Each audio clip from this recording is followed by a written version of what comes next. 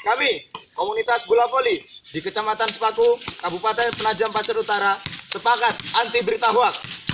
Kami, komunitas bola voli di Kecamatan Sepaku, Kabupaten Penajam Pasir Utara, sepakat menolak berita hoak yang memecah belah kerukunan umat.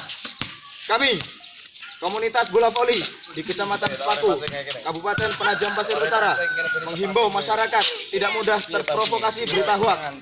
Kami, komunitas bola voli di Kecamatan Sepaku, Kabupaten Penajam Pasir Utara, mendukung sepenuhnya Polri mengusut dan memproses hukum penyebar hoak. Mari kita lawan penyebar.